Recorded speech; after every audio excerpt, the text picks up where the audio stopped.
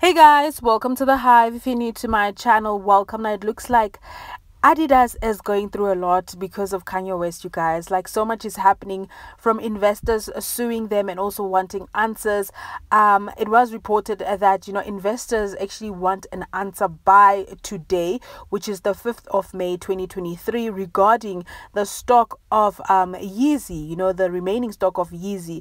And it has been reported by Forbes, I quote, adverse Yeezy impact Adidas projects a $771 million loss this year after cutting tie, ties with Kanye West. Now, my goodness, you guys, that's a lot of money. I know Adidas is like a big brand and they make tons and tons of money, but this is a whole lot of money. What do you think about this whole situation? Do drop me a comment down below for more entertainment, more gossip, more news. Stay tuned, and I'll see you guys soon.